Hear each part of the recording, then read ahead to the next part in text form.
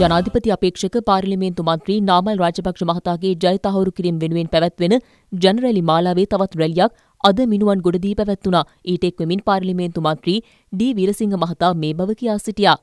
ඇත්තටම මේ මහ පොළොවට ආදරය කරන ඇත්තටම ඔබට ආදරය කරන නායකයෙක් බිහි වෙනවා 2005 ඒ මහින්ද රාජපක්ෂයන් මහින්ද රාජපක්ෂයන් කියන්නේ ඔබේ හද ගැස්ම ඒකට හේතුවක් තියෙනවා අපි ඉතිහාසය කියද්දී ඕන තරම් යුද්ධය ගැන කතා කරලා ඇති යුද ජයග්‍රහණ ගැන කතා කරලා ඇති ඒවා අපි කියවපු ඒවා හැබැයි අපි දැකපු දේවල් නෑ. හැබැයි අපි දැක්කා එක මහා කළු සිංහලෙක් නැගිටිනවා මේ පොළොව මත.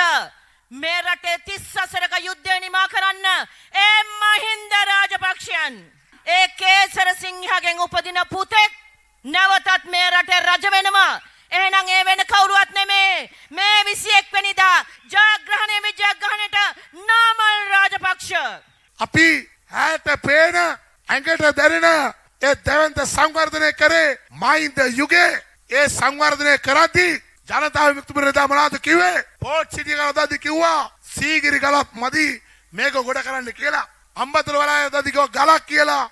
උමායදදි හිරක් කිව්වා මේ කඳවුර මා ශක්තිමත් කඳවුරක්. ඔය ගිය මිනිස්සු ඔක්කොම අනාතයි කළේ ගුණ දන්න මිනිස්සු ඉන්නේ මහින්ද රාජපක්ෂ කඳවුරේ. ආදරණීය අම්මේ තාත්තේ බොරුවට රවටුණා ඇති අපි ඇත්ත දකින්න ඕන අපි ඇත්ත කතා කරන්න ඕන අපි සද්ද නැතුව ඉන්න තාක්කල් අපේ පාක්ෂිකයන් නිහඬයි.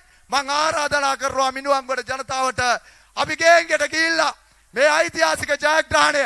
මේක ලබා ගන්න මහ ලොකු දුරක් නෑ. ඡන්ද ලක්ෂ 171යි 180ක් දැම්මොත් ඡන්ද ලක්ෂ 140යි මේකෙන් දිනන අපේක්ෂකයා 150යි දශම එකක් ගන්න ඡන්ද ලක්ෂ 71ක් ගන්න ඕන. එහෙනම් මේ ඡන්ද 71 ගන්න ලක්ෂ 71 ගන්න ලේසින් පුජ්‍යලයා කවුද? අපි ගිය ජනාධිපතිවරයා ගත්ත ඡන්ද ලක්ෂ 69ක් අපි හිතමු 10ක් 20ක් 30ක් අඩු වුණත් මේ ඡන්දේ ජයග්‍රහණය කරන්න අපිට ගන්න තියෙන්නේ ඡන්ද ලක්ෂ 32යි අපි 69 ලක්ෂයක් ගත්ත මිනිස්සු ඒක නිසා ආදරණීය අම්මේ තාත්තේ රැල්ලට බය වෙන්න එපා. අපි දාලා තියෙන හොඳ තරුණ නායකයෙක් තරුණයෙකුට රට දෙන්න කියලා කියනවා. ප්‍රධාන අපේක්ෂකව හතර දෙනයි. රණවිරුව බේරගත්තේ උතුරටයි නගරයටයි ඉඩම් පොලිස් බලතල දෙන්නේ නැහැ කියලා. සජිත් ප්‍රේමදාස කිව්වේ නෑ. රණවිරුව බේරගත්ත උතුරටයි නගරයටයි ඉඩම් පොලිස් බලතල දෙන්නේ නැහැ කියලා. අනුර කුමාර කිව්වේ නෑ. රණවිරුව බේරගත්ත උතුරටයි නගරයටයි ඉඩම් පොලිස් බලතල දෙන්නේ නැහැ කියලා.